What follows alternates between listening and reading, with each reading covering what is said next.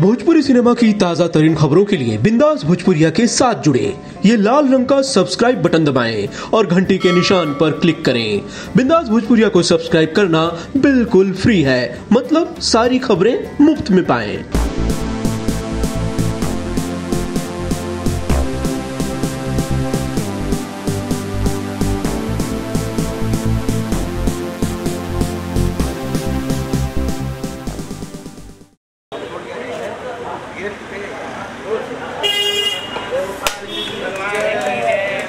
आ, हमारी एक फ़िल्म शुरू हो रही है सखी के बिया।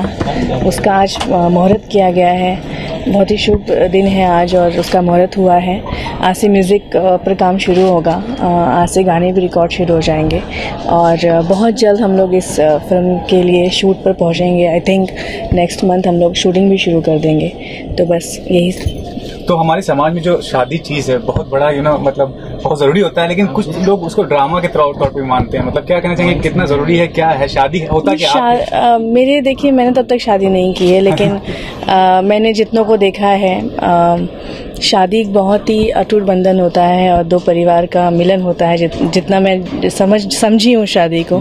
और लाइफ पार्टनर अगर अच्छा मिले तो बहुत अच्छी बात है नहीं मिले तो फिर क्या कह सकते हैं? लेकिन शादी I think is very nice और मैं इतना एक्सप्लेन नहीं कर पाऊँगी क्योंकि मैंने अब तक प्रैक्टिकली वो लाइफ जी नहीं है। आपकी हुई है शादी? इब्राहिम हुई है। पहले तो मैं आप सभी को धन्यवाद देना चाहूँगा जितने भी मीडिया कर्मी यहाँ पर मेरे भाई आप लोग मौजूद हैं। और रही रानी जी की बात तो अभी मेरे दिल की धड़कनों पे कोई हाथ रखे तो बता, पता चले। बहुत तेज चल रहा है। तो बहुत अच्छा लग रहा है और मेरा ये सौभाग्य है कि ऐसे ऐसे महान हस्तियों के साथ मुझे काम करने का मौका मिला है।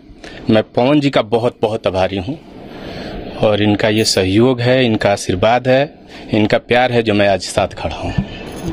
रानी जी आप क्या कहना चाहें? बिया में किस तरह किरदार आप निभाने वाले हैं। बहुत अच्छी स्क्रिप्ट है राम। बहुत ही अच्छी स्क्रिप्ट है।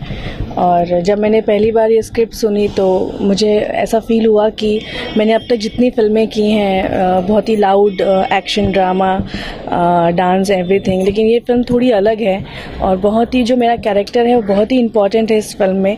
मेरे दो तीन शेड्स इसमें देखने को मिलेंगे, मैं अभी बोल नहीं सकती, क्योंकि जब फ़िल्म आएगी तो मेन क्योंकि वही उसका टर्निंग पॉइंट है जो मेरे शेड्स हैं इस फ़िल्म में। और यू नो बहुत टाइम बाद एक यू नो भोजपुरी स्क्रिप्ट जिसे आप कह सकते हैं बहुत बुज़ुर्ग से लेके बच्चों को भी ये फ़िल्म पसंद आएगी। इसीलिए मैंने ये करने के लिए हाँ भी बोला और मैं काफ़ी इम्प्रेस भी हुई जब नंदू जी और बॉबी जी ने मुझे सुनाया।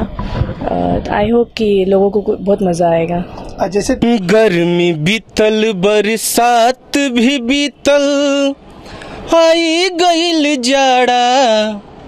गर्मी बीतल बरसात भी बीतल। आई गईल जाड़ा सजना हो। रुआ भइल रह खाड़ा अरे सजना हो। रुआ भइल रह ताटे खाड़ा।